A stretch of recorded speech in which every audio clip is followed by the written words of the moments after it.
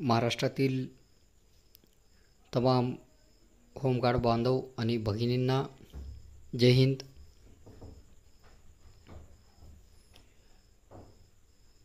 मी भरपूर दिवसांनी आज एक ऑडिओ अपलोड करत आहे. कारण भरपूर अपात्र बांधवांचे व्हॉट्सअपवर म्हणा किंवा यूट्यूबवर कॉमेंट येत आहेत. अपात्र लोकांचं काय झालं? अपात्र लोकांचं काय झालं? मूळतः तुम्ही मुद्दे लक्षात घ्या. मी परत एकदा आपण सर्वांना विनंती करून सांगतो तुमच्या सर्व कामाचे पाठपुरावा चालू आहे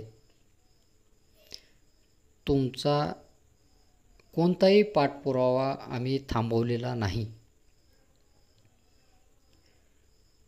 चोवीस फेब्रुवारीपासून जे काम आम्ही हातात घेतलेलं आहे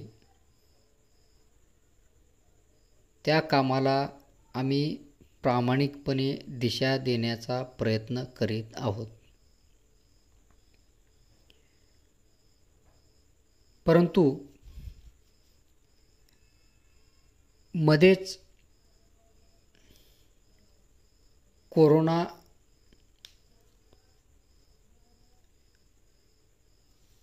कोरोनाची आपत्ती संपूर्ण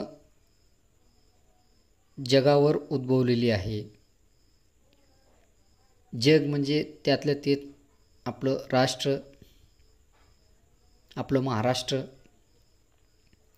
त्यामुळे संपूर्ण जगातील आपल्या देशातील आपल्या राज्यातील प्रत्येक मानवी जीवनावर मग तो श्रीमंत असो गरीब असो मध्यम असो प्रत्येकाच्या जीवनावर या कोरोनाच्या आपत्तीचा परिणाम झालेला आहे. आणि ही तुम्ही डोळ्याने पाहताय. ही वस्तुस्थिती तुम्ही डोळ्यांनी पाहतात.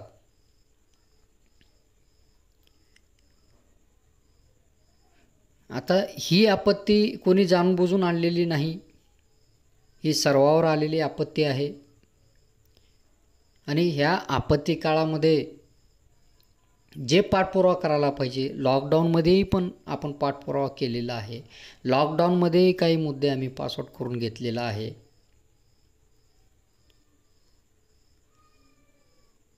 काही महाशयांनी आम्हाला कॉमेंट टाकलं की तुमची विमा पहिल्यापासूनच आहे. तुमच्यासाठी जो विमा असतो ना तो पहिल्यापासूनच आहे. मूळतः तुम्ही आठ मेला जो आम्ही पत्रव्यवहार केलेला आहे तो पत्रव्यवहार परत एकदा वाचून पहा तुम्ही. त्यामध्ये पहिली मागणी अशी आहे की पोलिसांना जो विमा आपत्तीजनक विमा जो लागू केलेला आहे मी परत एकदा सांगतो आपत्तीजनक विमा आपत्तीजनक विमा म्हणजे ज्या ज्या काळात ज्या ज्या काळात आपत्ती आलेली असते त्या आपत्तीजनक कार्य करत असताना ती ठरलेली विमा रक्कम मग तो एक महिन्यासाठी असेल दोन महिन्यासाठी असेल तीन महिन्यासाठी असेल. म्हणजे एवढे बारकाईने मी तुम्हाला समजावून सांगतो आहे कारण तुमच्या लक्षात येईल. मग आपत्तीजनक परिस्थिती जर तीन महिन्याचा असेल तर तो विमा तीन महिन्यापर्यंतच लागू असतो. तर ती आपत्तीजनक विमा पोलिसांना जे लागू केलेलं आहे तोच विमा रक्कम होमगार्ड बांधवांनाही लागू करावं. हा आपली पहिली मागणी होती. त्याच्यानंतर तुम्हाला पूर्वीपासूनच जो तीस जुलै दोन हजार नऊचा परिपत्रक आहे त्याला जवळपास आज अकरा वर्ष झाले आपण दहाच वर्ष पकडू. तो कायमस्वरूपी जो बारा महिन्यासाठी विमा इतर आपत्तीजनक परिस्थिती सोडून ड्युट्या करत असतानाचा तो विमा आहे. ती विमा रक्कम दोन लाखाची आहे. तर ती रक्कम आज दहा वर्षाच्या हिशोबाने आजच्या महागाईच्या हिशोबाने वीस लाख करावी अशी मागणी आहे. म्हणजे तुमच्या लक्षात आलं का पहिला विमा हा पोलिसांना जो विमा दिलेला आहे मग तो पन्नास लाखाचा असो साठ लाखाचा असो सत्तर लाखाचा असो तोच विमा होमगार्ड होमगार्ड बांधवांना लागू करावा. आणि त्याच्यानंतर दुसरी विमाची मागणी आहे आता मला काही मासे कॉमेंट टाकले यूट्यूबला की तुमची मागणी वीस लाखाची आहे. तर मुळात मी प्रत्येकाला स्पष्टीकरण देत नाही तुम्ही ऑडिओ वाचत ऐकत चला. मी पाठवलेले निवेदन पाहत चला. परत परत त्याच गोष्टी त्या यूट्यूबवर यूट्यूबवर कॉमेंट टाका. माझे बंधन नाही. परंतु तुम्ही वाचून घेत चला ऑडिओ ऐकत चला. मी प्रत्येक वेळेस तुम्हाला सांगत असतो की माझ्या यूट्यूबवरील ऑडिओ तुम्ही सिरियल वाईज जर ऐकत आलात किंवा ऐकत असाल तर तुमच्या प्रत्येक प्रश्नाचे उत्तर त्या ऑडिओमध्येच आहे.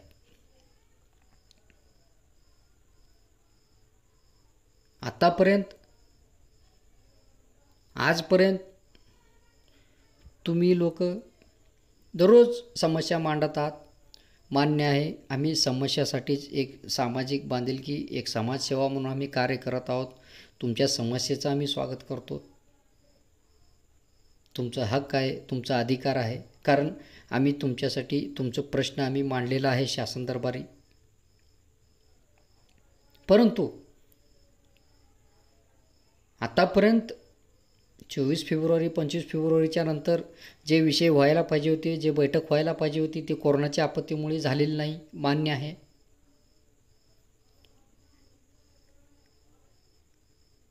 परंतु जिथे तुमचा रणगाडा थांबलेला होता जिथे तुम्हाला संपुष्टात आणण्याचा प्रयत्न केला जात होता ते कुठंतरी थांबलेला आहे की नाही हा माझा प्रश्न आहे. जेव्हा कुणालाही ड्युट्या नव्हत्या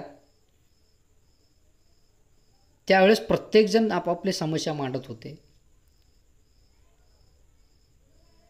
पण आज थोडक्या प्रमाणात का होईना ड्युट्या चालू आहेत. हजारोच्या संख्येने प्रत्येक महाराष्ट्र महाराष्ट्रभर ड्युट्या चालू आहेत. पण एखाद्या त्या ड्युट्या करत असलेल्या एखाद्या व्यक्तीने तरी मला व्हॉट्सअपवर मेसेज केलेला आहे साहेब आमची ड्युट्या चालू आहेत. आमचा चालूचा पगार आला किंवा आमचा जुना जुना पगार आला त्याच्यानंतर चालूचाही पगार आला. मग ह्या गोष्टी जोपर्यंत तुम्ही आम्हाला स्पष्ट करत नाही किंवा निदान महाराष्ट्रातून छत्तीस जिल्हे आहे छत्तीस जिल्ह्यापैकी एक दोन तीन जिल्ह्यातील लोकांनीही जर असं मेसेज केलं तर आम्हाला पुढे काय करायचं एक अंदाज येतो आम्हाला. तुमच्या ड्युट्या चालू आहे तुमचं पगार येतो आहे की आम्हाला ते म्हणजे ती माहिती आम्हाला संकलन करायची आहे किंवा अडचण नेमकं कुठं येतो आहे काही लोकांच्या अशाही अडचणी आलेल्या आहेत की त्याच्यावरही आमचं काम चालू आहे की काही जिल्ह्यामध्ये अल्टरनेटिव्ह काम दिलेलं आहे म्हणजे आद आदलाबदली करून काम दिलेलं आहे. काही जिल्ह्यामध्ये त्याच लोकांना कंटिन्यू केलेलं आहे. परंतु संविधानिक जर नियमाने जर आपण पाहिलात तर नियमानुसार तुमच्या बॉयलॉजमध्ये असे आहे की एका व्यक्तीला तुमचं संबंधित कार्य संबंधित कार्यालय निरंतर दोन महिन्यासाठी काम देऊ शकतो. ते तुमचं संबंधित कार्यालय ठरवल. मग त्याला कंटिन्यू दोन महिने काम द्यायचं का एक महिने त्याला काम देऊन नंतर दुसऱ्या लोकांना द्यायचं. हे समजून घ्या आधी. राहिला विषय पंचेचाळीस पन्नास वयाचा. तो नियम पोलिसांनाही लागू केलेला आहे.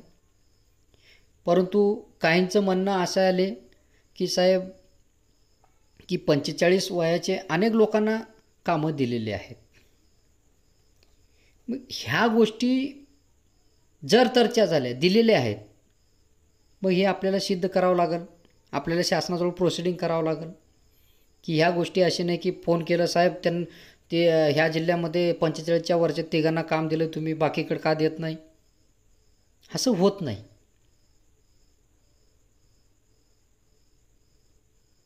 समजून घ्या.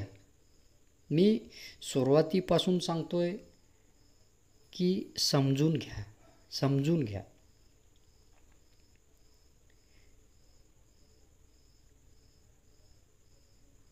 आता जेव्हापासून आम्ही विषय हातात घेतलेला आहे मी म्हणत नाही थोडेफार तरी काय तुमचे म्हणजे जे काही कामं जे थांबलेले होते ते चालू झालेत नाही चालू झालेत. ते तुम्हालाच माहीत असेल. मी म्हणणार नाही मी हे चालू झालं ते चालू झालं असं चालू झालं. आणि प्रत्येक गोष्ट प्रत्येक माहिती मी शेअर करू शकत नाही. प्लीज तुम्ही समजून घ्या मी प्रत्येक माहिती तुम्हाला शेअर करू शकत नाही. जे आम्ही पाठपुरावा चालू आहे जे जे आमचे काम चालू आहे. आता एका व्यक्तीने तरी सोशल मीडियावर असं व्हायरल केला तुमच्या होमगार्ड बांधवाच्या व्हॉट्सअपवर की तुमची सर्वात पहिली मागणी अपात्र लोकांची होती. विषय पहिली मागणी दुसरी मागणी तिसरी मागणीचा विषय नसतो. मागण्या आपण पहिली म्हणजे ज्या जसजसे आम्ही आम्हाला ज्या ज्या गोष्टीची अभ्यास आला ज्या ज्या गोष्टीची माहिती आली त्यानुसार आम्ही मागण्या टाकलेल्या आहेत. मग याचा अर्थ असं नाही की पहिली अपात्र लोकांची मागणी आहे तर बाकी सगळं सोडायचं पहिला पहिली करा. असा अर्थ होत नाही त्याचा. मूळ मुद्दा तुम्ही समजून घ्या. तुमचा प्रत्येक बांधव मग तो अपात्र असेल. अपात्री व्याख्या आलीच कुठून हेच मला समजत नाही. मुळात तुम्ही वेतनदारी कर्मदार वेतनदारी कर्मचारी नाहीत. तुम्हाला अपात्र ठरवलंच कसं? हा एक फार मो फार मोठा प्रश्न आहे. शासनाने अनेक परिपत्रक काढूनही त्या परिपत्रकावर काम होत नाही. ह्या गोष्टीचा अभ्यास कोण करणार? ही सिस्टम नाही ना? की उचललं फोन लावलं फोन त्यांना की म्हटलं हे तुम्ही ह्यांना काय काढलं आणि त्यांना काय काढलं? असं चालत नाही ना सिस्टममध्ये.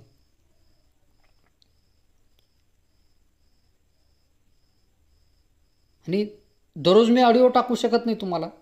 जे आमचे पाठपुरावा चालू आहेत. दररोज तुमच्याबद्दल पाठपुरावा चालू आहे. ज्यावेळेस पूर्ण कामं होतील ना तर ह्याचं तुम्हाला पहिल्या पानापासून ते काम संपलेल्या पानापर्यंतचं पूर्ण एक त्याला काय म्हणतात स्टोरी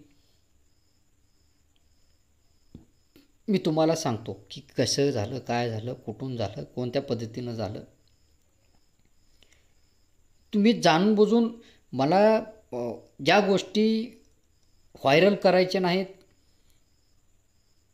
त्या गोष्टी खोदून खोदून खोदून की माझ्याकडून वधवून घेण्याचा प्रयत्न केला जातो आहे. तर कृपया तुम्ही तुमच्या मनामध्ये कोणतीही कुशंका किंवा गैरसमज न बाळगता आमच्यावर विश्वास वाटत असेल तर थोडेफार विश्वास ठेवा.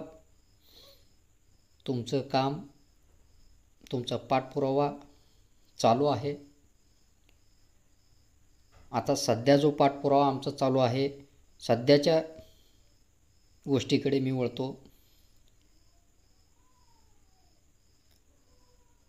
अपात्र लोकांचा मुद्दा आम्ही घेतलेला आहे. आता त्या अपात्र लोकांना पूर्ण जॉईनिंग कसे करून घेता येईल? ह्याच्यावरती आम्ही अभ्यास केलं. त्याच्यामध्ये काही डिवायडेशन केलं आम्ही. आता हे पूर्ण डिटेल सांगत नाही आम्ही काय म्हणजे कशा पद्धतीनं करत आहोत आम्ही.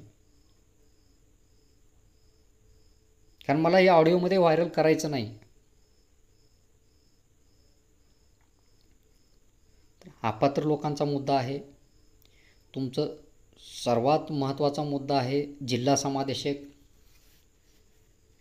जे मानसेवी पदं होते जिल्हा समादेशक पदं नसल्यामुळे आज तुम्हाला जी अडचण येऊ लागली आज तुम्हाला जो त्रास होत आहे ते त्रास थांबावं. आणि तिसरा सर्वात महत्त्वाचा ज्वलंत मुद्दा तुमचा असा आहे की एकशे ऐंशी दिवस किंवा तीनशे पासष्ट दिवस. ह्या तीन गोष्टीवर आमचे काम चालू आहे.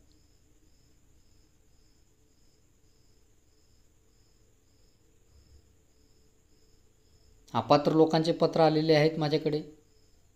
कोणत्या कारणाने अपात्र केले?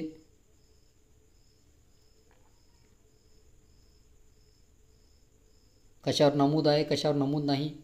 जर अपात्र केले तर तुम्ही त्यांना पत्रव्यवहार केलेला आहे का? का अपात्र केले म्हणून? त्याच म्हणजे एक सिस्टम असतं. तुम्ही ज्यावेळेस तुम्हाला एखादं शासनाचं नोटीस येतो शासनाचं पत्र येतो त्याला एक महिन्याच्या आत त्यांना प्री उत्तर द्यायचं असतं की बाबा हे मला अपात्र का केलं?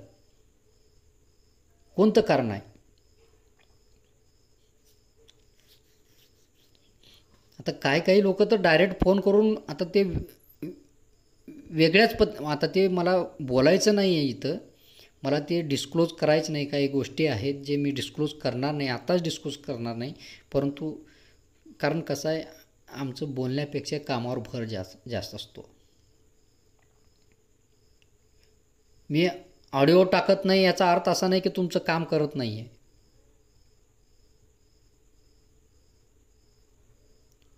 आमचे न्यूज चॅनलचे बातम्या असतात. तुम्ही कॉमेंट टाका. तुमची होमगार्ड बांधवांचे जे विषय आहेत त्याच्यावरती कॉमेंट टाका. त्या यूट्यूबला कॉमेंट टाका.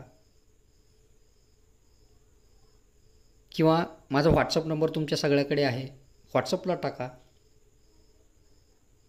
मी ऑडिओ कशासाठी देतो आहे तुम्हाला की तुम्हाला माहिती पोचावं? प्रत्येक माणसाला तुम्ही परत एकदा समजून घ्या की मी संपूर्ण महाराष्ट्रभरातल्या होमगार्ड बांधवांशी संवाद साधू शकत नाही म्हणून हा एक माध्यम मी निवडलेला आहे. हे मी व्यवसायासाठी हा माध्यम निवडलेला नाही यूट्यूबचा माध्यम. हा यूट्यूब मी आज तुमच्यासाठी वापरण्यासाठी मी चालू केलेलं यूट्यूब नाही. माझं यूट्यूब किती कधी चालू झालेला आहे तो बॅक रेकॉर्ड काढून बघा.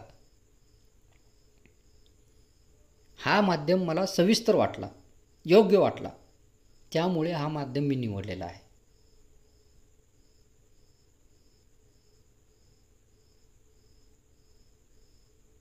आणि परत एकदा तुम्हाला विनंती करतो ज्या गोष्टी चालू आहेत जे तुम्हाला अन्याय कुठं होत आहे? अन्याय का होत आहे? अन्याय कोण करत आहे? ह्या सर्व गोष्टींचा आराखडा अभ्यास पेपर सर्व काही दप्तर तयार करण्याचं काम चालू आहे. बैठक लावा बैठक लावा म्हणजे बैठक लावून बैठकमध्ये आपल्याजवळ काहीतरी पाहिजे दस्तावेज पाहिजे.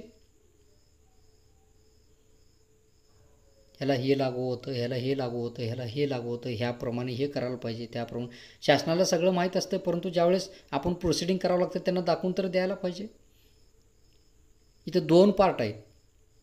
एक तर ही लढाई शासनासोबतही आहे आणि तुमच्या संबंधित कार्यालयासोबतही आहे.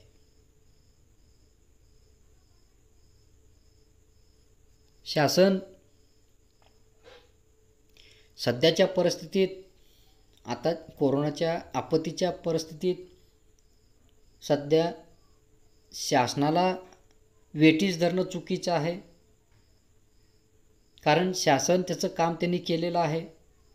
चोवीस फेब्रुवारीला शंभर करोड शासनाने दिलेले आहेत. त्याच्यानंतरही आता ती डॉक्युमेंटरी माझ्याकडे नाही त्याच्यानंतरही एकशे पंच्या जे वार्षिक तुमचं बजेट आहे एकशे पंच्याहत्तर करोडमध्ये त्या त्यामध्ये दहा टक्केप्रमाणे सतरा करोड रुपये दिलेले आहेत. त्यानंतर परत एक्कावन्न करोड दिलेले आहेत. हे सर्व कागद तुमच्याकडे व्हायरल होतातच. मग हे असेच देत आहेत का ते? शासन शासनाचं काम करत आहे. आपण आपले पॉईंट शासनाजवळ ठेवत आहोत.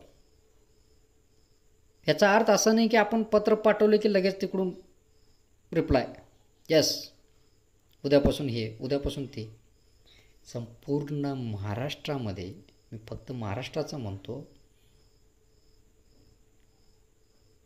प्रत्येक माणूस हा समस्यांनी ग्रासलेला आहे. आणि सरकारला ह्या प्रत्येकावर लक्ष द्यावं लागतं.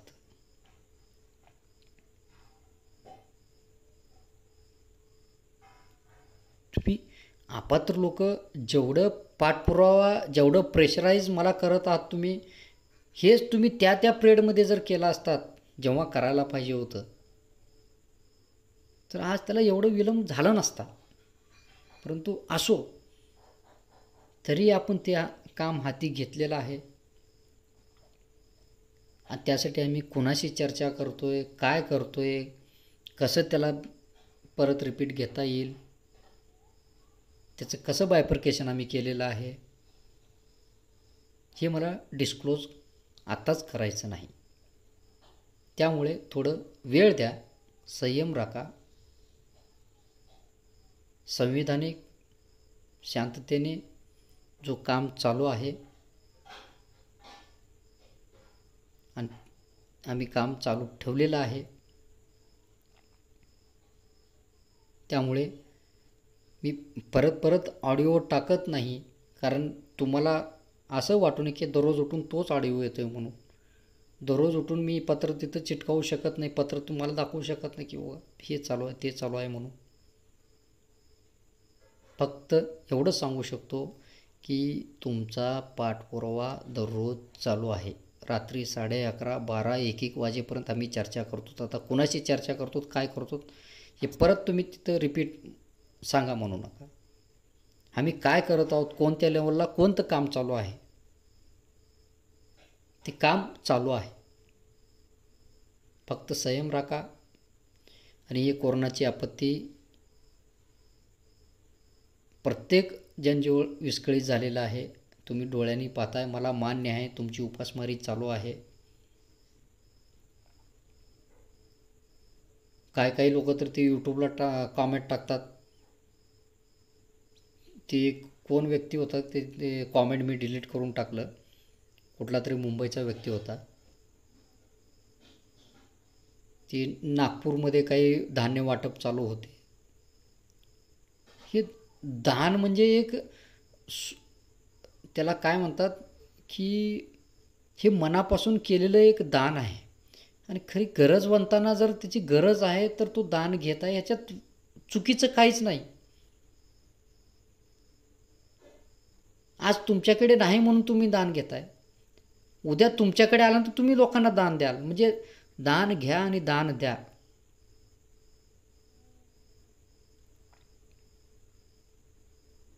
हे सृष्टीचं नियमच आहे.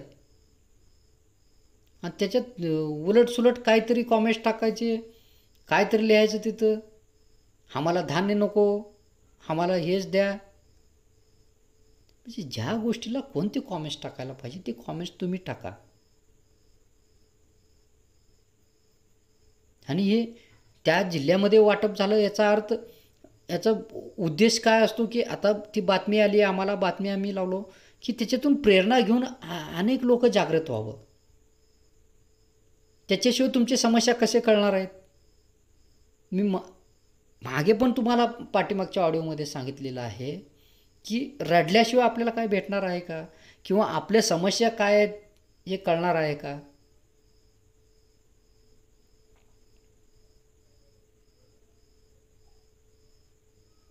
तर मी परत एकदा तुम्हाला सांगू इच्छितो आत्ता सध्याच्या लेवलला आमच्या तीन गोष्टीवर काम चालू आहेत. अपात्र लोकांना पूर्वत कसे करता येईल? तुमची मानशिवी जे पद जिल्हा समादेशकचे त्याला परत कसं त्या पदावर ठेवता येईल? आणि तुमचं एकशे ऐंशी किंवा तीनशे पासष्ट परत एकदा बॅनर वाचून बघा तुम्ही. ह्या तीन गोष्टीवर आमचं काम चालू आहे. काम चालू आहे काम थांबलेलं नाही. त्यामुळे थोडं वेळ लागेल. कारण हे लॉकडाऊन आहे. आणि लॉकडाऊनमध्ये आता लॉकडाऊन थोडं थोडं थोडं थोडं रिलीज करत आहेत. पण रिलीज केल्यानंतर अजूनही काही तुमची संख्या लक्षात येत आहेत. कारण इतके दिवस आपण लॉकडाऊनमध्ये होतो. तर लॉकडाऊनच्या नंतरची परिस्थिती वेगळी असते. म्हणजे संपल्यानंतरची. सर्व गोष्टींचा आराखडा सर्व गोष्टीचा बाजू सर्वांचा थोडं वास्तव्य तुम्ही लक्षात घ्या.